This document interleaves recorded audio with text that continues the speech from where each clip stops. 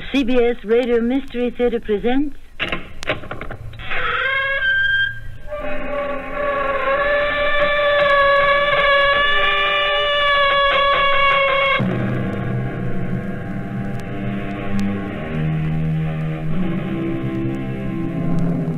Welcome. Come in. I'm Tammy Grimes. According to the Psalms, the days of our years number three score and ten. Well, not always, and not for everyone. Life is filled with surprises, and the greatest of these is death. It is possible to predict the day of our arrival, but in the ordinary way, who can foretell the day of our departure? Let us assume that someone could. I won't let you go, Albie. The streets are too dangerous late at night. I can take care of myself. I've got a gun. See? Oh, Albie, that's the toy pistol Papa bought for your birthday years ago. It's the real thing. No, Albie, dear, it's just a toy. That's your opinion, Mother. Now, Albie. Watch this. Albie, you come back here. I forbid you to leave the house. Albie!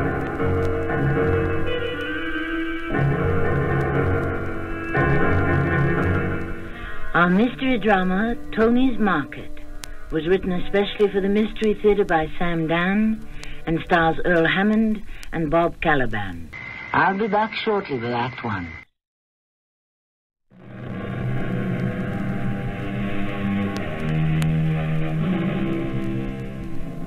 It is 11 o'clock on the night of July the 2nd. Three people are in Tony's Market, one of those little superettes or convenience stores that stays open till all hours. There's Tony himself, middle-aged, balding, good-natured. Mrs. Cordelia Tanner, a rather plump lady of nearly forty. And Mr. Joseph Dacey, an elderly but extremely dignified-looking gentleman.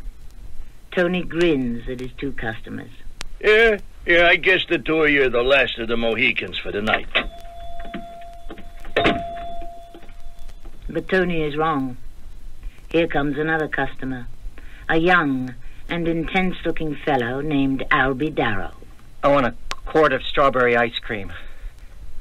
Did you hear what I said? Oh, yeah, yeah, yeah I heard you, but you, you have to wait your turn. I'm sorry. Well, what do you mean, you're sorry? Look, pal, I'm sorry for you. Why are you sorry for me? Because you ain't got no manners. All the rest of you.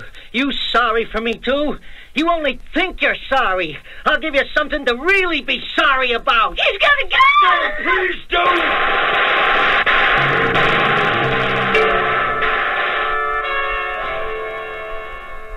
The gun is one of those 9 millimeter automatics so popular today with assassins.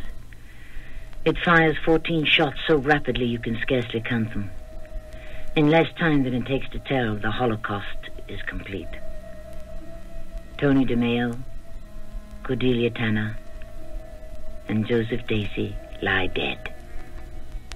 Albie Darrow reaches into the freezer chest, finds a carton of strawberry ice cream, and calmly walks out of the store.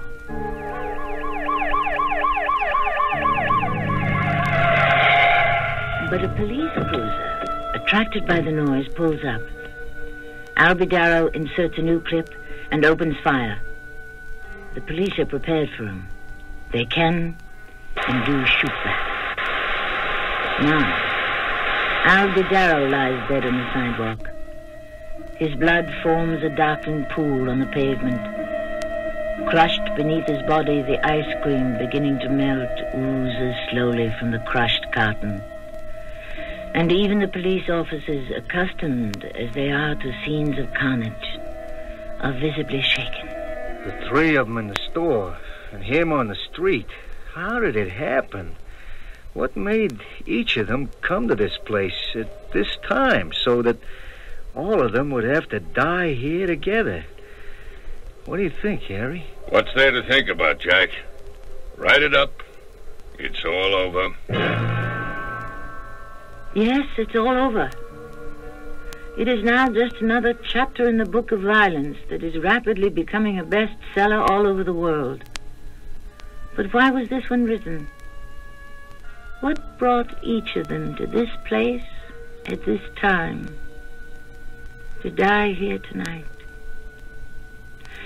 What if we were to begin our story at 10 p.m. instead of 11 on the night of July the 2nd?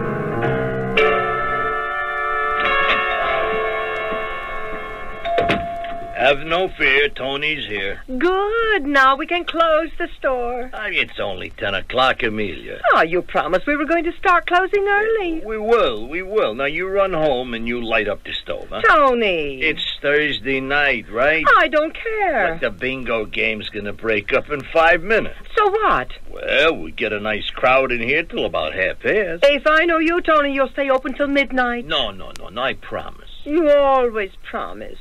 This time I'm putting my foot down. Sell the place. and then, Travel. where? All over the world. Why? See the people. You want to see people? Look out the window. Oh, these are different kinds of people. Ah, people are alike no matter where you go. That isn't true. Tony, Hmm? let's go to Italy. Uh, Italy. Your old man and my old man, they should rest in peace. They couldn't wait to get out of Italy. well, that's because they were poor and starving. But we're rich. What do you mean, rich? We got a couple of bucks, that's all. We've got more than enough, Tony. You've worked hard.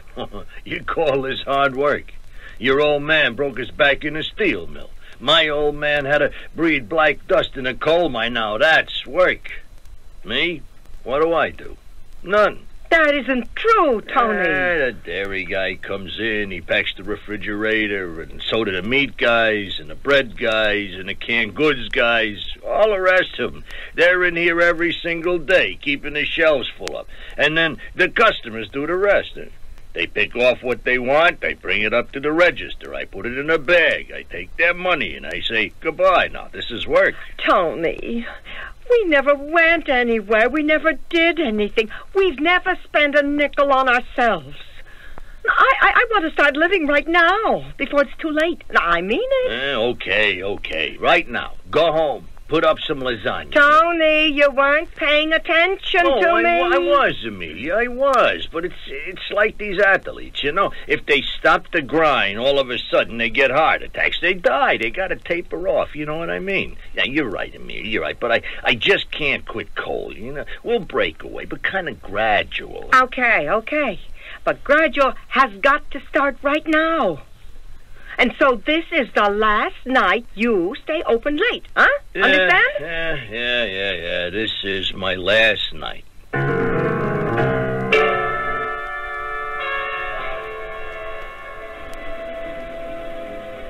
Walter, please turn that off. Huh? I said turn it off. Uh, but you asked me to turn it on. I changed my mind.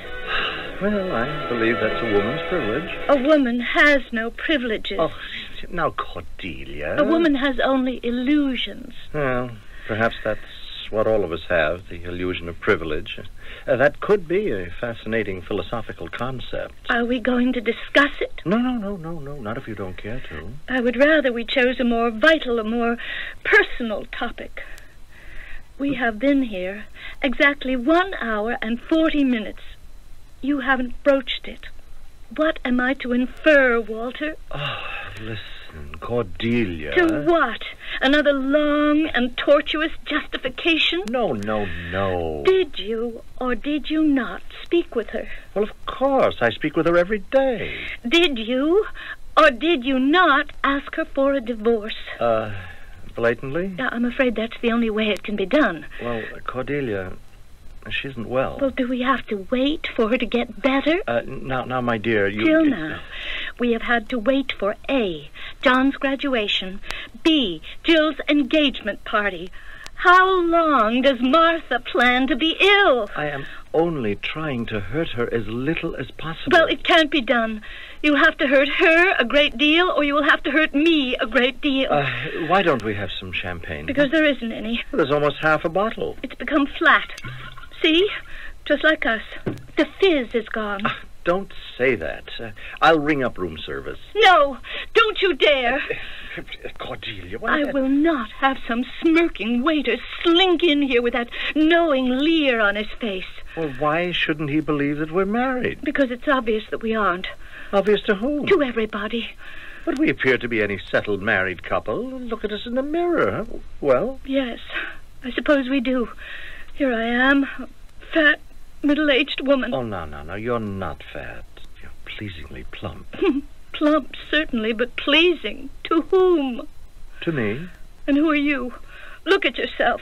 You have bald, you've got a, a, a pot belly. Oh, darling, darling, we all grow older. In body, perhaps, but not in spirit. No, you're an old man, Walter. You are an old man at fifty, a- a- and you putter about with old things. Your whole world is the classics, the ancient Greek and Latin classics. My, my dear Cordelia, what is the problem? The problem, the problem. I, I don't know what the problem is. Oh, no, no, no, no. You mustn't weep. No. You, you're never going to divorce, are you? Are you? Darling, does it matter? I mean, really matter? You and I are truly one. We, we're mated. We, we are husband and wife in everything but name. Well, I want the name too. Oh, my darling Cordelia, as George Bernard Shaw would say, that is middle class morality. But what is wrong with middle class morality? You intend to have your share of it. Didn't you scrimp and save and, and, and send your son to one of those prestigious universities? Didn't you plot and scheme to marry your daughter into a wealthy, socially prominent family? Well, why can't I enjoy some nice, comfortable middle class morality too? Oh, you know, darling, there's the most hilarious comedy on television Oh. tonight. No, really, it will make you feel so much better, really. I don't have to turn on the TV to see a comedy. I only have to look at you and me. Well, Walter, the joke is over. The joke? Yes, the joke we've been playing on ourselves. You know, I actually thought you would leave her for me. But why should you? Martha and I, we're so much alike. She's fat and forty, and so am I. What did you see in me, anyhow, Walter? darling, what is wrong with you this evening? Nothing, nothing. For the first time in years, Walter, something is right with me. I'm starting to think of myself, and that makes you uncomfortable. No, no, no. I don't like to see you distressed. Oh, unless it concerns you. I'm only supposed to suffer over your agonies.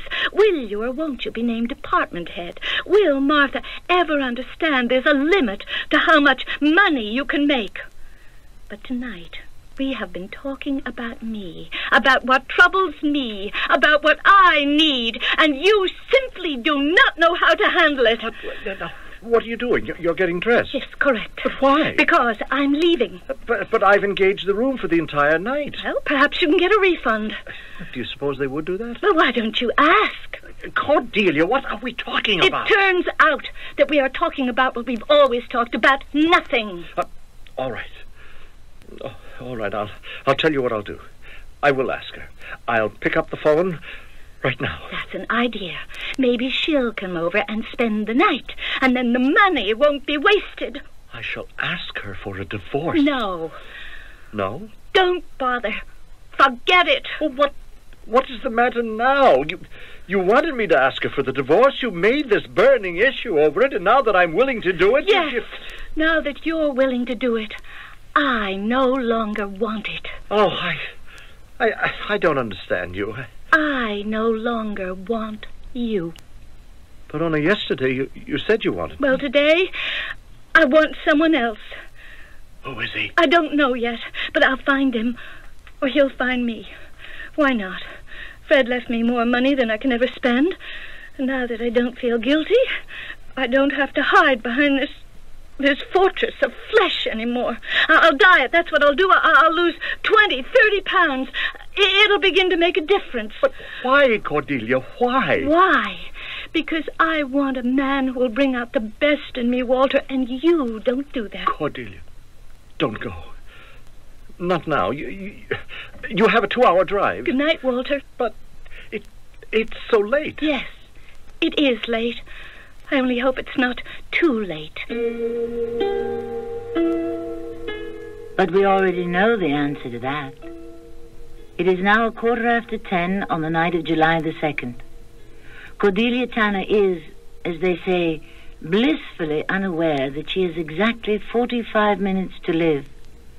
Cordelia Tanner, Antonio DeMeo, Joseph Dacey, and Albie Darrow. The second act, the next to the last chapter in their lives, approaches.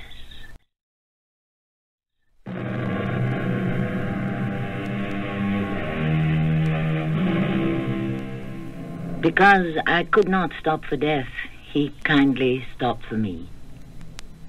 The carriage held but just ourselves and immortality. The words are by Miss Emily Dickinson. They describe so many of us who go about our all-consuming mortal affairs. And, in particular, the four main characters in our story. The carriage will stop for each of them within the hour. Hey, hey, hold it, Harry. Okay, Jack. Hey, that car parked at the curb back there. It's got a dame sitting in it. Uh, let's check it out, huh? Okay. Hey, good evening, ma'am. Lady, Hmm? Oh, oh, good evening, officers. Everything all right? Oh, yes, yes, everything's fine. It's uh, just we noticed you all alone in a parked car on a deserted street. Oh, would you like to see my license and my registration? No, no, no, no. You, you look okay. Shall I tell you why I parked here? You don't have to. It's a free country. I was obeying the law. The law? Well, it isn't exactly legal law. It's more or less a, a, a law of common sense. And it says you should never drive while you're drunk or nervous or excited, you know?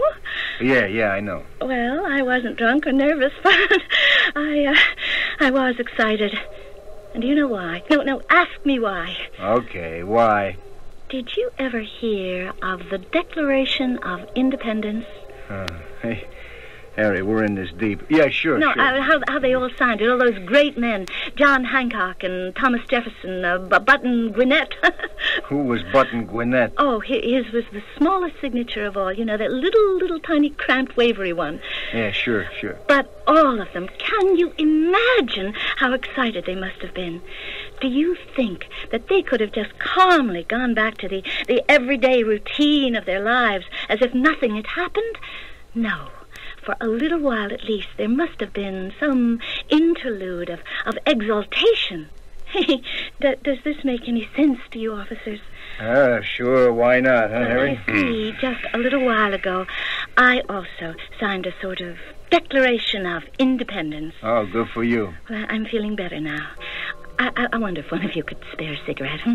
I, I seem to have run out. Oh, I'm sorry, I don't smoke. Uh, Oh, Me and my partner Harry here, uh, well, we both kicked the habit. oh. Well, look, uh, is there any place around here where I could maybe, uh, you know, Mm, what would be open this hour, Harry? Well, maybe Tony's Market. Hey, yeah.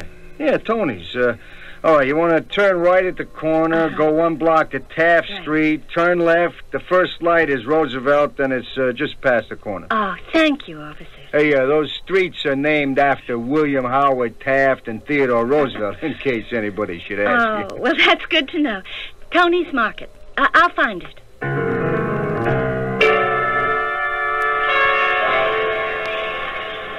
Will Mr. and Mrs. Wilson report to information desk? Hello, Russ, darling. I'm at the airport. Yeah, I just landed. No, no, dear. I, I haven't cast the part yet. But maybe I can find a stage actor, Russ. Do you have any ideas? Transnational Flight 6 to Fort Lauderdale in Miami is now No, no, no, dear. No, none of those names appeal to me. I, I want someone with great presence and, and and a voice, someone who can put fire and style into the part. And I intend to hold out till I find Will him. Miss Leona Cromwell please report to the information Oh, wait a center? minute. Wait, Russ, darling. I, I want to listen to something. Now, just hold the phone, Russ. Mr. Wait. George Hendricks, please report to the operations office. Russ, I may have found him. I'll call you later.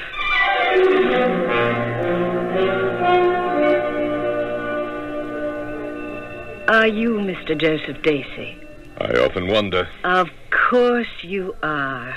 I've seen you on the stage. A long time ago. They said you'd be here on your break. You're looking for me? Yes. And now that you found me. My name is Taya Louise Miller. Yes, I know. You do? Who wouldn't recognize the celebrated Taya Louise Miller? Oh. the hottest young filmmaker in Hollywood? That word hottest, of course, is not mine. Well, I'm not really young anymore either. You, um, you have retired from the theater. We're surrounded by quite a bit of theater here, Miss Miller. And I'm constantly reading lines. Many of them are charged with more real drama than than anything that's spoken from the stage these days. Would you consider coming back? Would I consider coming back to do a play? A motion picture. Well, I would have to read the script, of, Of course, of course. Now, what am I saying? You, you're actually offering me a part? Yes, in my new film. Well, this isn't a joke, No, is it? i- it's a very strong character Well, I, part. well, listen, I, I, I- I don't mind auditioning. No, you don't have to. You already have the part. I, I've got the part. Mm-hmm. Well, I can't believe it. That I, Mr. Dacey, what happened what happened? to you? Twenty years ago, you were considered one of the finest actors. The crowd, the fickle crowd. It elevates us to the skies for reasons we can never fully understand, and then it consigns us to the depths, also for reasons that are beyond comprehension. But you were so well known, so, so great. Well, we grow older, the world changes. There are new names, new faces. I want you for my picture. You can have me, my dear Miss Miller. Uh, but may I ask why? I shouldn't say this, but the fact is, I owe everything to you. To me? Yes. If it weren't for you, I might still be working on a farm in upstate New York. You took me away from there. I did. hmm I can't remember. And I can't forget. I lived with my father. My mother was dead. on a potato farm. It was hard work. I went to a regional high school. I hated it. Why? I don't know. I didn't feel I was learning anything useful. Literature, especially, seemed such a waste of time. And then they took the class to Rochester to see a play, Shakespeare. You were Macbeth. Macbeth. hmm I toured Macbeth 20 years ago. You were Macbeth. Suddenly, it was no longer just windy, high flown words. You were a human being up there on that stage. I believed you. And when you said, Wake, Duncan, with thy knocking, wouldst, thou couldst, I gasped. I started to cry. I could, I could feel your agony. Could you? Yes. You couldn't awaken Duncan. But you awakened me. And I said to myself, this is theater, and this is where I want to be. Let me live here, and I'll never want anything else in the world. I'll never be cold or hungry. Do you understand what I'm saying, Mr. Dacey? Yes, I do. Of course you do. I've traveled a long way, but without you, I never would have taken that first step. You are actually offering me a job. I thought that was understood. And it isn't out of a sense of gratitude. I simply could not get anyone better, or even as good. I haven't been on a stage or in front of a camera in over 15 years. But I'm ready. I'm always ready. I know. Are you free to meet me tomorrow morning at the Hotel Royal for breakfast? I believe so. The lawyer will join us later to work out the contract. And I want us to spend our time talking about the script. Very good. Well, till tomorrow. Till tomorrow. Good night, Mr. Dacey. Good night, Miss Miller.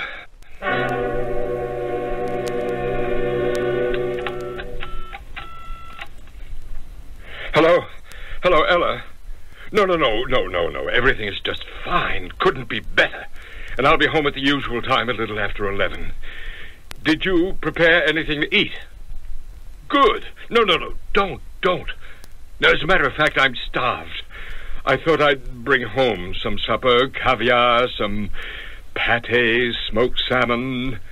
Darling, I know how much these things cost, but tonight we've we've got to celebrate. I'll, I'll, I'll tell you when I get home, and not one moment before. Meanwhile, you light the candles, set out the crystal and silver. Tonight we cry out for madder music and stronger wine. I'll see you soon, darling. Wake, Duncan, with thy knocking. Wouldst thou couldst.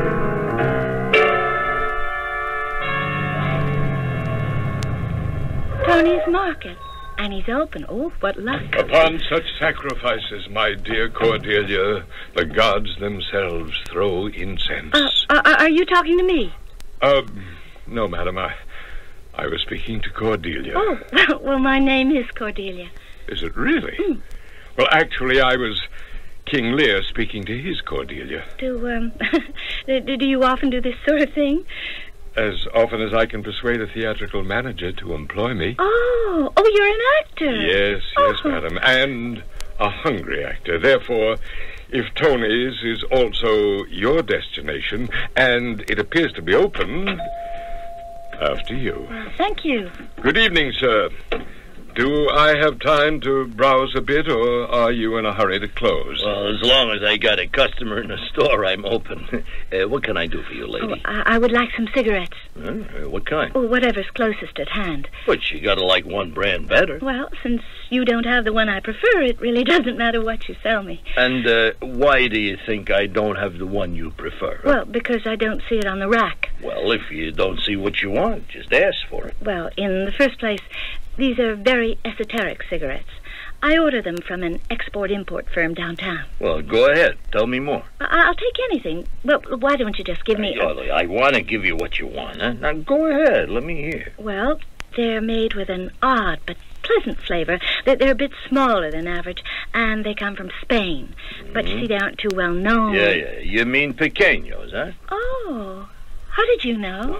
Well, that's a long story. Uh, you'll find them on the bottom. Oh, well, I, I don't think I see. Oh, oh, yeah, yeah, yeah. They're all gone from there. Uh, look, I got a couple of cartons in the storeroom. You- You got a minute? Oh, certainly. All right, I'll be right back. I have plenty of time.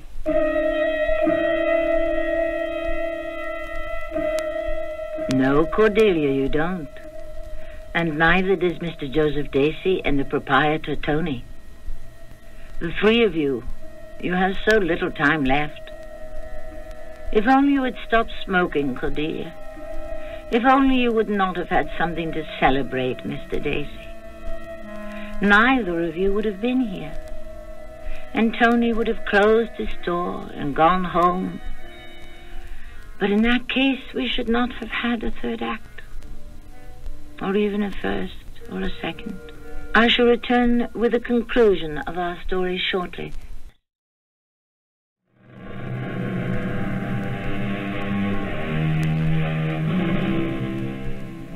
We are concerned here with four people.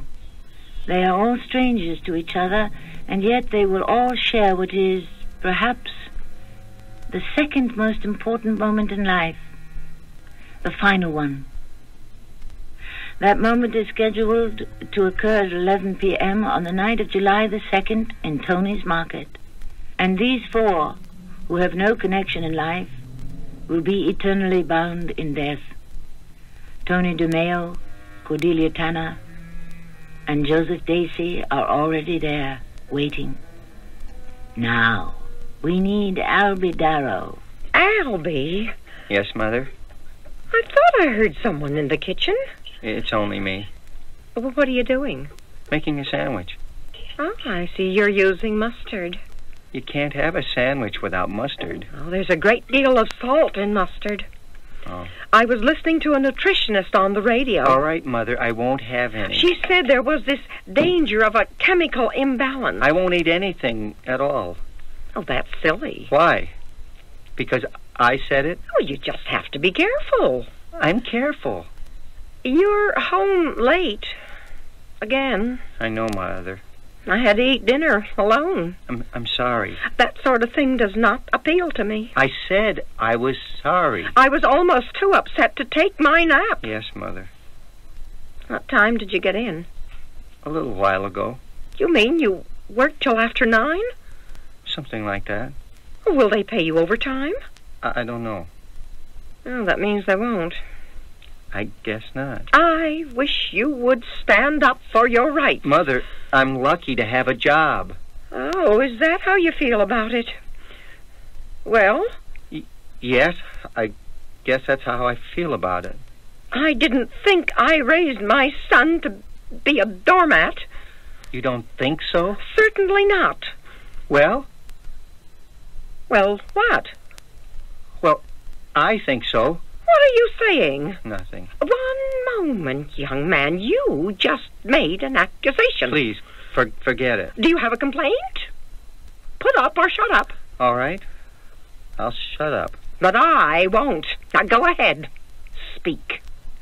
Uh, I'm a doormat. Why? Oh, what's a doormat? Isn't it something everybody steps on? Didn't everybody around here always step on me? Now that's a contemptible lie, Albie. Why didn't you send me to college? You know perfectly well why. Papa died. He left enough. There was money for Margie's husband to go into business. There was money to send Tom to medical school. There was money for you to take a trip around the world, but there was never any money for me. The fact is, Albie, you were not college material. You're forgetting you flunked out. That was because you expected me to. You don't know what you're saying. Tom got music lessons. Margie got dancing lessons. I got nothing. Albie, the truth is, you didn't have any talent. Did Tom? Did Margie? I heard Tom's violin teacher say he was practically tone deaf. And Margie? A, a ballerina? I heard Papa talk about it all the time. He said Tom had a tin ear and Margie walks like an elephant. And you, said lessons are meant to enhance, to widen. Well, why couldn't I be enhanced, widened? Albie, you weren't interested. Was Tom? Was Margie? You you don't remember the scenes we used to have in this house, huh? But, but you stayed on top of them. You made them each become somebody. You you didn't do it for me. Wh- What happened? When I came along, were you too tired? Bored with raising kids, maybe? I'm very sorry you feel that way, Albie. I'm sorry too, because the bottom line is all I can get is this miserable job where my boss is a cross between Pontius Pilate and Simon Legree, and I get conned into working overtime for nothing. I know what's really bothering you, Albie. Oh, you, you think so? Eleanor. E- Eleanor, huh? Mm-hmm. She's been rather distant toward you lately. So? I expressed my opinion of Eleanor quite early, didn't I? Yes.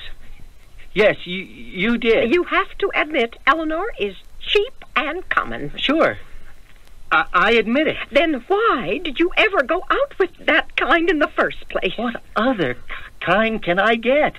If a girl really has something on the ball, well, what does she want with a loser like me? Oh, don't talk that way. It's true. You know what you need, dear.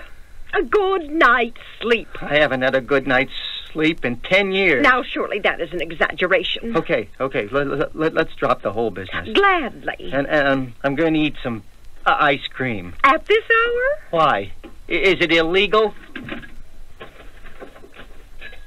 Where'd you put it? Strawberry ice cream. On the top shelf near the ice cubes. I don't see it. Oh, oh, I'm sorry. I, I did mean to buy some, and I forgot. You f- forgot? Oh, I'm sorry, Albie. It just slipped my mind. How does it happen nothing ever slips your mind when it comes to Tom and Margie? Oh, now what are you talking about? Each of them does you a favor and comes to visit maybe two or three times a year. I notice there's always a, a batch of those cookies frozen away that Tom likes. Please close the freezer door before everything spoils. Uh, You don't have to break it, Albie. And I'll bet you've got at least a half a dozen bottles of that white wine that Margie likes. I'm just not important enough for you to think about, huh? T- to remember, make plans for. And I never was. You're blowing this thing up out of all proportion. I want some strawberry ice cream. We don't have any. But I am going to have some. be reasonable. Be reasonable. If I had a nickel for every time you or Papa ever said that to me, I, I'd be a millionaire. All right, I'm being reasonable. What am I asking for, huh? Strawberry ice cream. I break my back at a m- miserable job all day, and I never have a dollar I can call my own. You simply do not know how to handle money. I'm never going to do anything, g- go anywhere, be anybody. Okay, I, I accept it. Do, do you understand? I accept it. All I ask is, all I have the nerve to bother you about is some s- strawberry ice cream. You mean that's not being reasonable? I'm sorry, Albie. Don't say I'm sorry. That's what I always got from everybody in this house. That's what I get from everybody everywhere. I'm sorry, says my boss, but you have to work overtime. I'm sorry, says Eleanor, but I'm busy tonight. I'm sorry. I'm sorry. I don't want to hear that again.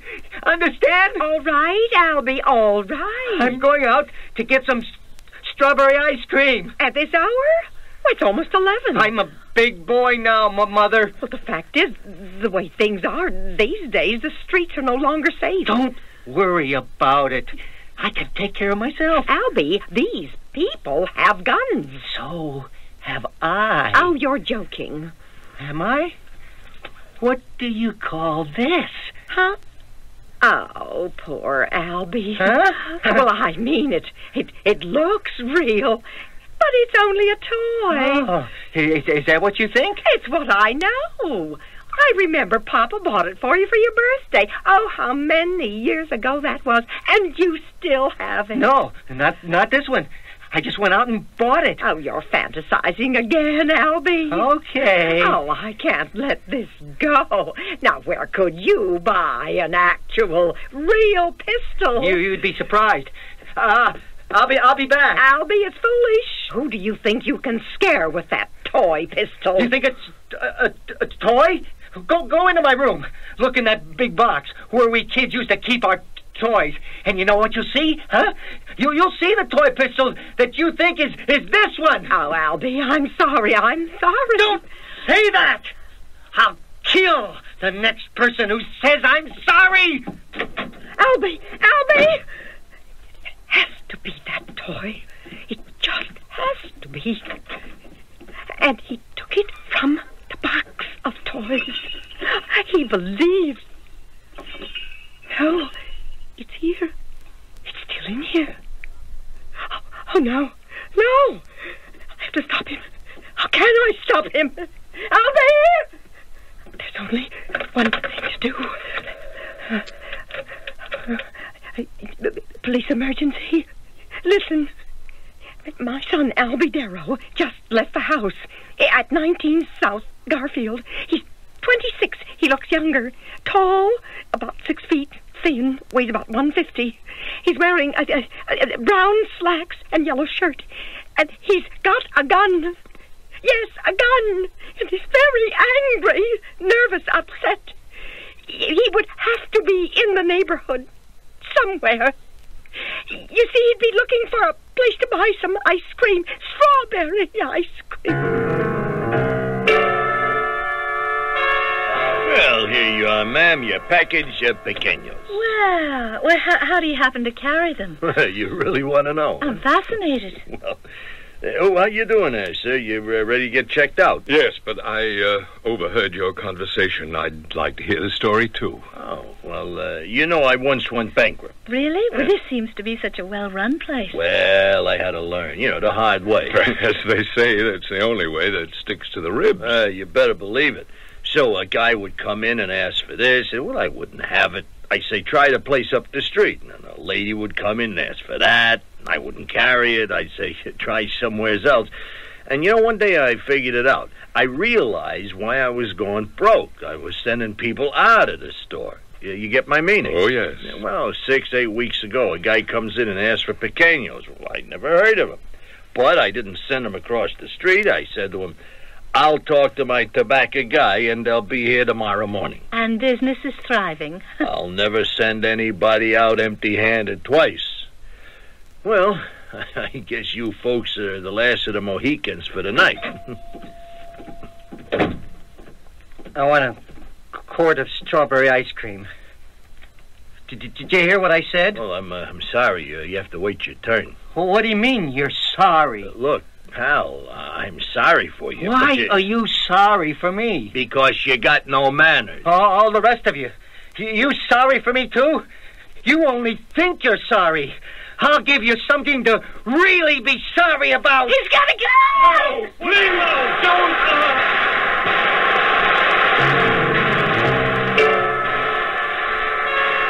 It's from around the corner. Hey, hey, coming out of Tony's. The one on the radio. He's on, Jack. You there! Freeze! Drop it! He's gonna shoot.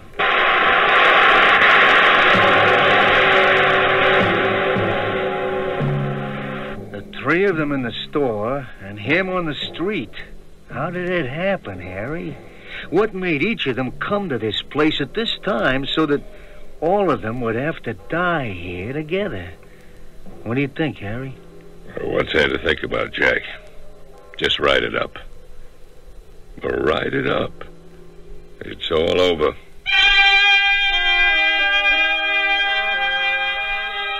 Yes, it's all over. Our story is called Tony's Market.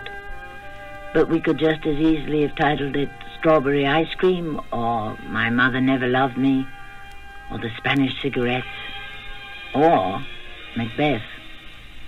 The possibilities are limitless. Because the causative factors, as the psychologists like to say, are endless. Little things little events, ancient grievances and grudges, or even gratitudes. Suddenly they surface, and we live or we die. I shall return shortly.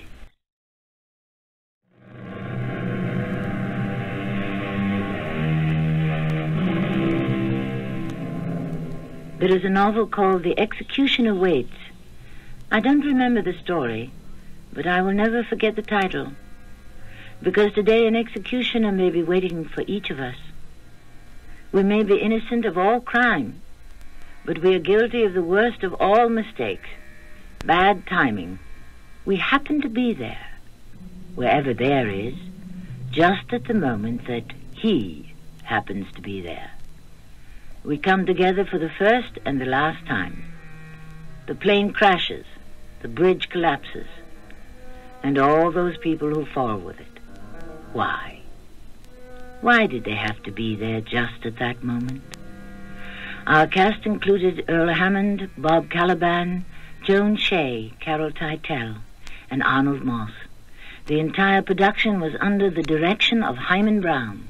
This is Tammy Grimes, inviting you to return to our Mystery Theater for another adventure in the macabre. Until next time, pleasant dreams.